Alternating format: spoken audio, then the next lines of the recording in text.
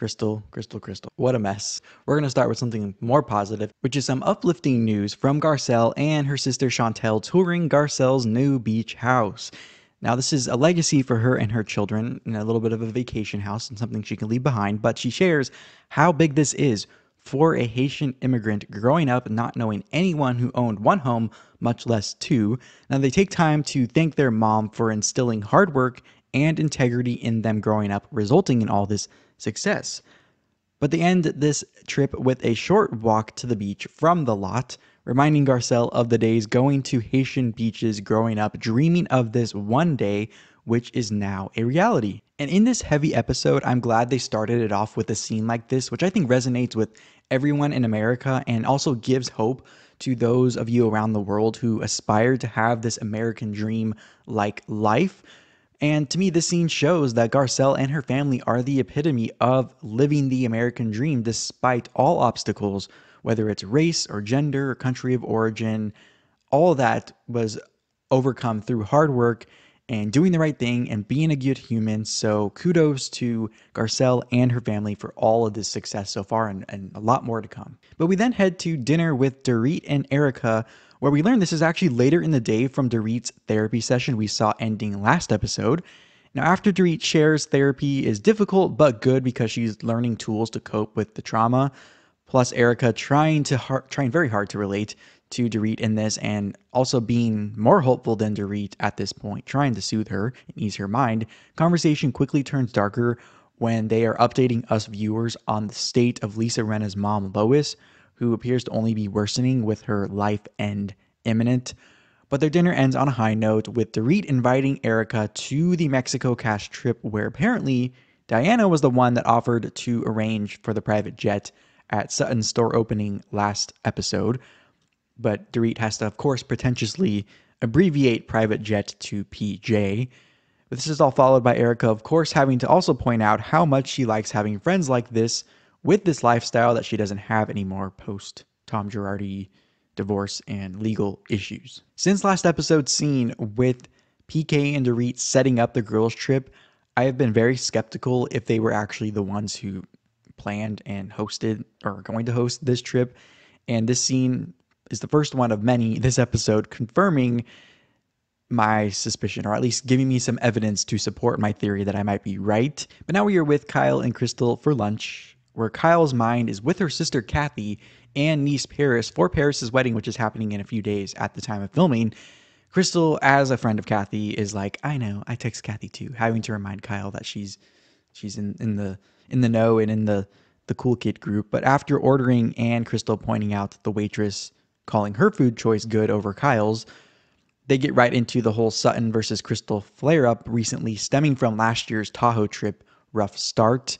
I just wanted to quickly point out uh, those two things pointed out by Crystal came off as kind of joke, playful, but it's a little bit of foreshadowing, I think, to some later accusations against Crystal. Crystal, though, shares again why she has been triggered recently, because apparently the other girls still don't understand why she's triggered, I guess. But Kyle earned some points with me by calling out Crystal to her face in this private one on one about the bad optics of throwing Sutton under the bus while defending yourself against Garcelle's claim that you were trying to set Sutton up in that conversation to look bad no matter what. And not backing up your feelings on the situation with what was actually said leaves an open ended, unresolved, uneasy feeling for everyone else. Which at this point, I'm starting to think Crystal, that was actually her intent, was to make this an open ended, uneasy feeling. But Crystal continues to double down on not wanting to say what Sutton said, coupling that with an, okay, lesson learned. I shouldn't have said anything if I wasn't going to say everything.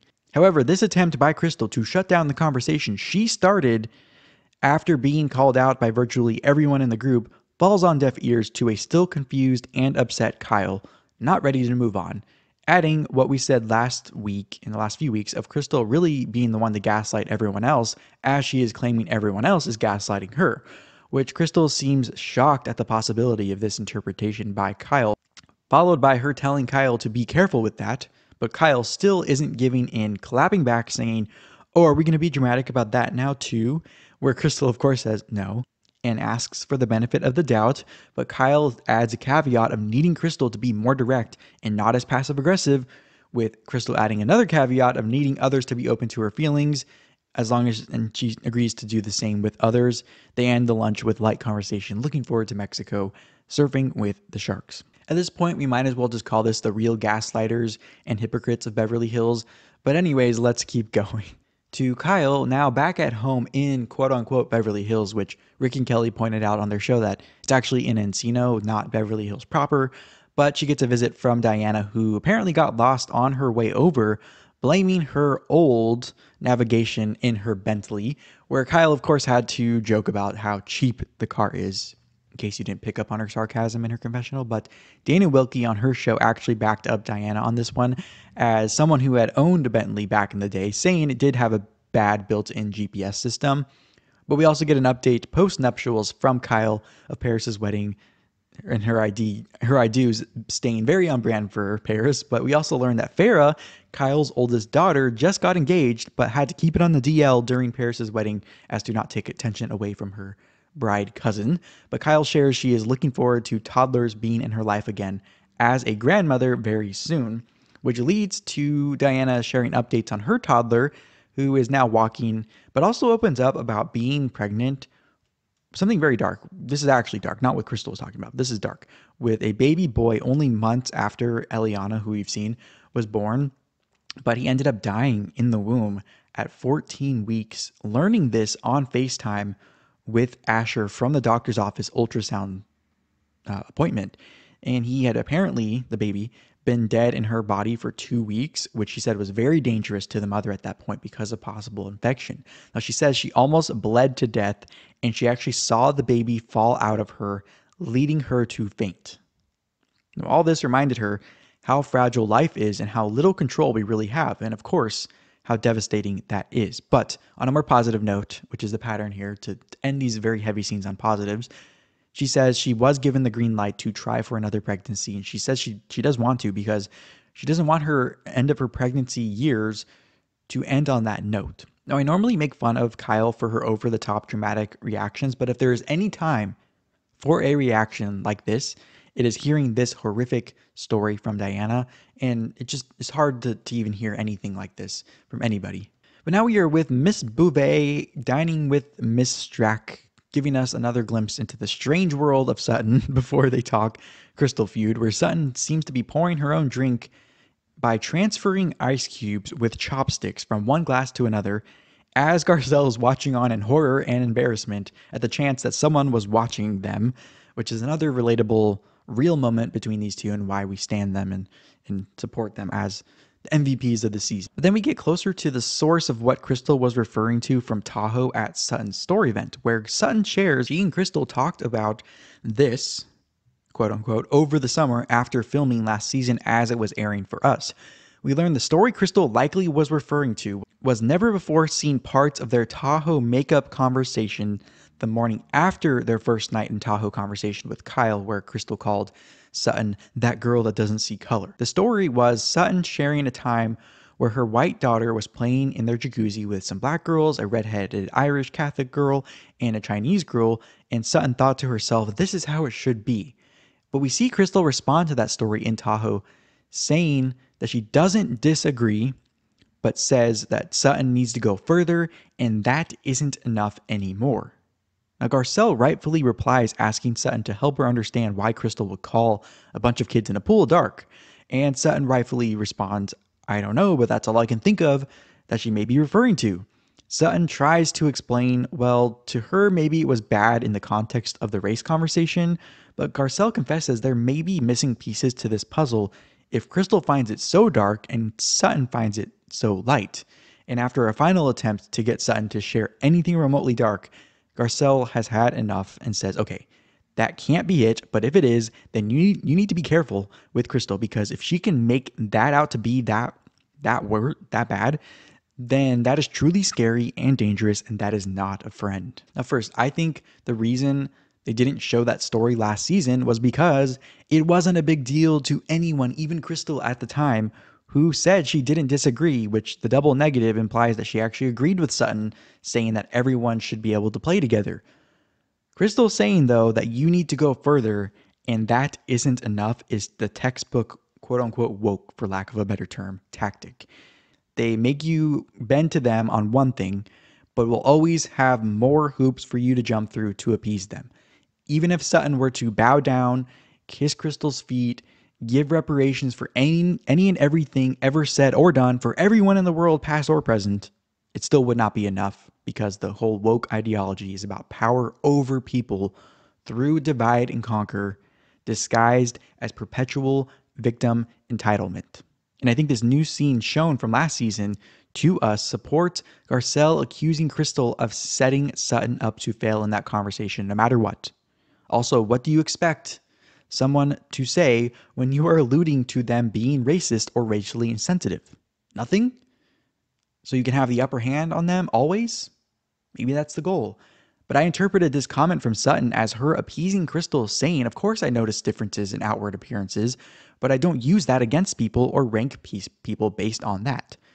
But last point on this for now I agree with Rick and Kelly, their take on this of not only is Crystal becoming insufferable, annoying, and dangerous with her hyperbole, but also her exaggerating the story to the ladies on a worldwide platform diminishes the suffering of true victims of racism around the world. But before that, if you've liked what you've seen slash heard so far, make sure to thumbs up, rate, and or review this episode wherever you are tuning in from to let the platform know you want to see more content like this and to help this episode reach others who may enjoy it as well. But as the girls are getting ready to leave for the trip, we sadly learn Lois, Lisa's mom, passed away on November 15th, 2021 at age 93 in Medford, Oregon, surrounded by her loved ones, where Lisa is recounting the heartbreaking moment she had to decide to not keep her mom alive. This is followed by, though, an uplifting montage in memoriam of Lois on the show over the years, showing why so many people on and off TV loved her. And this ends with Lisa, though, saying how lucky she feels to be an offspring of Lois's light that will shine on in our memory forever. And a respectful, quiet, still transition into and out of Lois's news was followed by Erika and Kyle FaceTiming, unsure if Rinna will actually show up for the girls' trip, but hopeful that they can lift her up and distract her in this time should she show up. Now, I know many in my life, after someone passes, are in shock, and it takes a while for things to sink in. That you just kind of want to be around others that are still around, that you love and are close to, and just go do something. Get out of the house, take your mind off of it a little bit, so I think this was actually a genuine friend moment from Kyle and Erika towards Lisa. But now we jump to the girls, including Lisa Rinna, meeting at the private airport lounge before departing on the PJ, all comforting Rinna, happy to see her joining them, with support from Harry and their daughters because they think Lois would want her to be there. Rinna also shares her daughters were actually able to have last moments with their grandmother, where Dorit shares how special that was for her when she lost her grandmother helping to cope with the loss a little bit better. Erika arrives, of course, misreading the somber room, but quickly corrects after seeing Rinna's face, followed by Garcelle arriving to Dorit confessing she hopes Lisa and her have a good trip and lean on each other as they both deal with recent life event trauma. On the plane, Dorit steps up explaining what the plans are for that night, as if she actually planned the trip, which I'm still not convinced she or PK did. But Diana laughing in the corner as Dorit is talking may indicate she knows the truth and might actually support my theory. So after landing, Kyle, Dorit, Diana, and Rinna are in one car, and Kyle calls the other car of Sutton, Garcelle, Crystal, and Erika the awkward car, which I think was actually referring to their relationships to one another being awkward, not necessarily calling them awkward people, unlike what I saw some people online trying to interpret Kyle's comments as mean, including Dana Wilkey.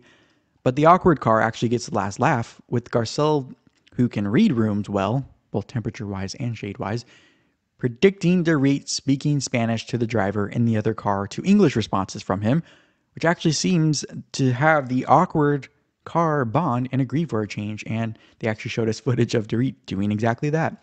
But before the cast gets to the resort, we get another montage of Diana's stylist arriving to the room first to set Diana up before she arrives to an overpacked closet for the amount of days they will be vacationing. Finally, the girls arrive to the Conrad Resort, which, yes, is a Hilton property named after Conrad Hilton, I believe. However, we are without the Hilton of the group, Kathy, at this time because she was still in negotiations to the return to the show with Bravo as a friend of. So maybe she was supposed to be on the trip, and that is why the Hilton Resort was chosen. I don't know, but it is a very interesting premise to think about. Nonetheless, Erika's wow engulfs their lobby entrance, but I noticed a missing welcome Miss Kemsley and guests, which I would expect if Dorit in fact did book this trip. Yet another piece of evidence supporting my theory, but another in a moment. After Diana scopes out her situation, she checks out the view and the balcony jacuzzi. Rinna does her standard wet wipe down of touched surfaces we've seen her do on a number of occasions visiting hotels on the show over the years. And after Kyle FaceTimes Erika from their rooms getting outfits together for dinner at the resort, we're now at dinner. And everyone except for Dorit arrives at first. We will find out in a moment why. But Kyle gets Rinna to open up about how she is handling Lois's death so far, sharing the fact that it is her mom is the hardest part, especially when picturing Lois not present when she normally would be in certain events coming up. But they quickly turn to pointing out all the positives of Lois's later life abilities, considering what she went through and her love for being famous, quote unquote, through Lisa, leading to a cheers and a look to the, look to the sky for Lois. But Dorit finally arrives to the table, but a little bit flustered because she was given a ground floor suite with people walking by all the time, making her feel uneasy still after the robbery. This was very confusing to me because I thought having people walking by all the time might be a good thing for someone who is a little bit of, of afraid post robbery because if someone something does happen there's people walking by as your witness. Also why not say hey i don't need my own room. I can go stay with my friend kyle since it isn't a couples trip and that wouldn't be awkward and then you wouldn't be alone. But again this to me shows Dorit didn't plan the trip because diana got the presidential suite but Dorit got the ground floor i guess the worst suite um, if she and, and or PK actually did plan the trip, then I think they would have arranged for this ahead of time, especially if the real meaning of the trip was to get Dorit out with her friends to take her mind off the robbery. Just doesn't really make sense. But nice try, Kemsley's and producers, but I'm not buying it. Now, after ordering drinks and food, Lisa doesn't skip a beat, delivering the pot stirring assignment she was asked to do by asking everyone, So, what did I miss the past week when I was gone? Where Sutton shares her store opening didn't go as well as the picture showed, adding that she was also busy that week, but apparently everyone else wasn't busy and they all had a conversation without her, referring to, uh, I think, Crystal's meeting the girls at Kyle's before leaving La Quinta and also the pre La Quinta meeting at Crystal's, which now looks very suspicious on her part and maybe what prompted Garcelle to call Crystal out. Sutton adds she doesn't want the dark conversation being misconstrued and then is very clear, concise, smart, and careful with her word choice here, saying, We know my character we know my family values of having a place of love expressed to everyone. She then looks at Crystal saying, I don't want untruths to be spoken. Crystal responds, explaining her discomfort with what was said, but again tries to shut it down by pointing out her resolution already with Sutton. But Sutton now is calling out Crystal for unearthing something from one year ago, even though it had already apparently been worked out.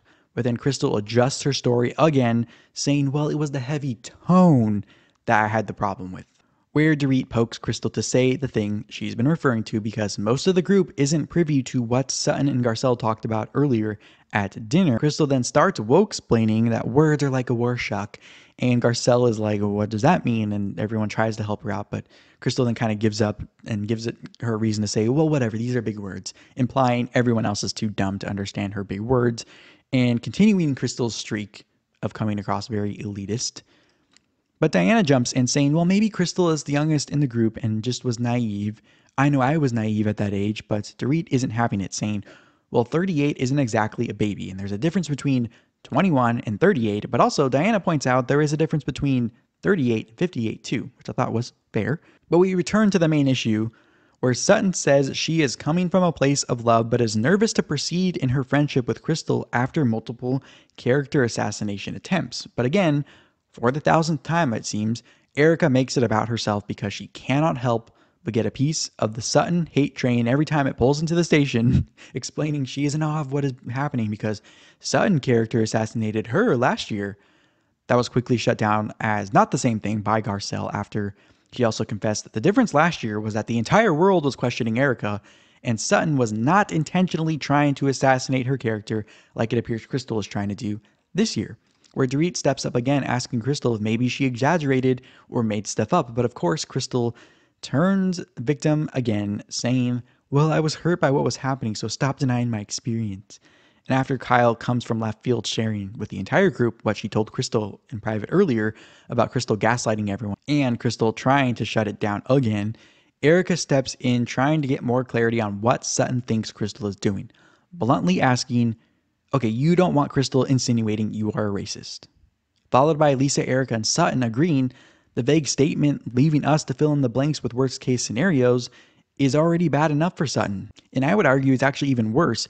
But I think, like I said earlier, that is why Crystal is being vague because the cut and dry facts don't support her recounting of events and would backfire against why she probably brought this up in the first place. But now, a pissed off Sutton, knowing she didn't say anything wrong or bad, is greeted by Crystal now trying to gaslight everyone again, saying, Well, I didn't actually bring it up.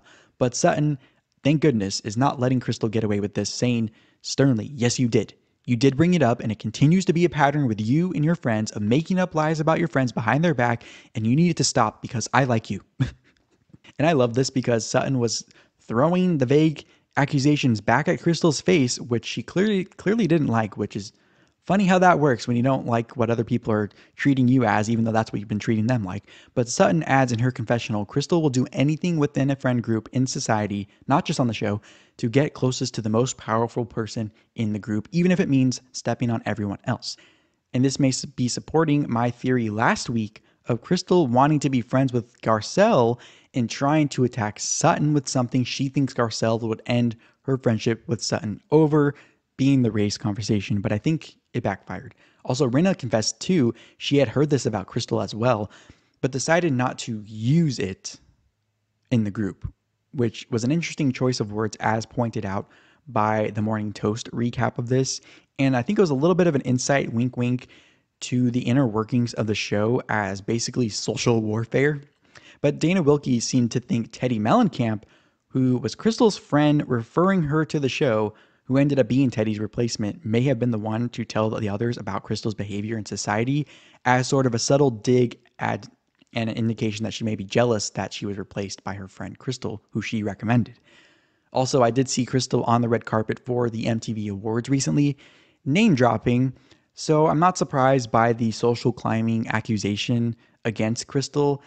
Also, we have to remember she came in as Kathy Hilton's friend, who Kathy seems to have the most leverage over the show and and this group. So kind of all adds up. I'm just going to say that. But Kyle steps up again saying, I'm not trying to go back or have problems with you, Crystal, but I was present for that conversation and things still do not add up. Where Crystal all of a sudden doesn't want to go back in time and wants everyone to move forward, saying, Well, Kyle, if you don't want to go back in time, then move forward. Which it's too late for Crystal because she opened this can of worms and she cannot play victim here. It is all on camera for all of us to see. This leads to Crystal confessing she thinks Kyle is choosing to focus on what served her and not what was actually important in that situation. Again, Crystal telling someone else how they should feel, the opposite of how Crystal says she wants to be treated, saying Kyle doesn't understand how this could be hurtful to me or people of color, insinuating now that Kyle is the racist with a smile on her face. I guess Crystal is just going to try calling everyone at the table a racist until something sticks to get her social justice gold medal in the media and the public's eye. But what she does not see is she is actually coming off as the race baiting, manipulative, dark, problematic, desperate, confused, mentally ill racist in this situation. And she is continuing the textbook play by wokesters of changing the rules mid game, of now it all of a sudden being about the tone, not actually the words, because the tone is a personal interpretation and very hard to disprove now that she has been exposed. Finally, the girls are filled in about the pool party story from Sutton we heard earlier told to Garcelle, where Kyle confesses, Oh, now I see. It was actually something said the next day when I wasn't present, but Sutton did tell me about it later on. Crystal confirms that was what she was referring to, unlike on Watch What Happens Live, which we will get to in a moment, where Garcelle says, No, I did not think that was dark or problematic. My problem is actually, I'm more triggered by you interpreting it that way, leading to Crystal shutting down and giving a very defeated, I'm sorry, I'm sorry, to Sutton. But Sutton isn't having it, saying, No, thanks a lot. Thanks for making this huge mess for me and making it all this big deal. You can't be sorry now. It's already out of the bag. And I think in that moment, I can read Crystal's face as kind of an oh shit, Garcelle isn't even backing me up on this one. But it appears Crystal is continuing to spiral to this day, as highlighted by her Watch What Happens Live appearance after this episode. But before we get into that, one quick final thought on this episode. I hope this last scene means we have turned the corner where people are no longer afraid to speak up about race related things when they think, think things are going too far. That's all I want to say to wrap that part up. But now to Crystal's Watch What Happens Live appearance. Besides every viewer poll being a landslide against Crystal, and Andy being slightly uncomfortable sitting there having Crystal watch these returns come in live, literally feet away from him. These polls included the audience disagreeing with her word choice regarding the pool story and her interpretation of it. But she also said on this episode, well, Sutton actually said something else that was dark and problematic other than the pool story. Meaning, the conclusion on the show isn't the story Crystal is now sticking with in reality. Not quite sure what she's trying to pull off here. Maybe she's going to bring something out at the reunion, or maybe she really is mentally off or pushing some sick agenda out of desperation. I don't know, but clearly she didn't actually learn the lesson as she told Kyle at their lunch earlier about hinting at something but not being willing to say what it actually is. This also supports my theory earlier about there always being something else with this type of person. Speaking of Kyle, Crystal basically called her stupid for calling her out on the gaslighting because apparently Crystal thinks, in her mind, she was not gaslighting and that Kyle just doesn't know what that means. Wrong. Kyle was right in the situation. Everyone's basically gaslighting everybody at this point. But on the Watch What Happens Live after show, Real Housewife of Dubai, Chanel Ayan called her castmate Nina Ali a social climber as Crystal is sitting next to her post episode where she was called a social climber, which I thought was just completely ironic, but they didn't really catch it in the moment uh, on the show. But before we get into the ratings of it all, uh, Perry Sanders from Shareell's World reminded us of something from last season that Crystal confessed which was her saying growing up she wanted to be blonde with blue eyes because she was always around white, skinny girls with blonde hair and blue eyes. So maybe her focus on Sutton is her envy and inner like child coming out, and she's choosing Sutton versus, let's say, the other blonde and blue eyed Dorit, Erika, and Diana because she sees Sutton as the weakest of them all. And also supports maybe she sees those other three as more powerful and she can social climb with them. Also, this may be part of her self esteem issues connected to her eating disorder, which also coincides with her issue last year in Tahoe with Sutton. And now it is all coming to a head here, warping her interpretation and mindset to come across irrational to basically everybody. But finally, on the ratings front, live viewership slipped back to the season premiere number of 1.15 million down from last episode's season high of 1.18 million. Last season, episode 4 to 5 also dropped, but only by 10,000 viewers versus this season, a 30,000 viewer drop. But this season still is above last season's episode 5 live viewership of 1.08 million. I also want to make a correction from last week's episode ratings recap where I said the 1.18 million wasn't reached until episode 13 of last season. In reality, it was reached in episode 6, but they dipped after that until episode 13, returning to that high before climbing from there as more Erika revelations came out during filming. But even so, this season still reached that number two episodes early and seems to be holding on to the viewership growth season to season and holding on to viewership better than last season. So, with that said, thank you so much for tuning in for this recap of episode 5. Hope you will join me in the next one. And as always, click around the channel for more. Thank you so much for having me in your online life, and I will see you next time.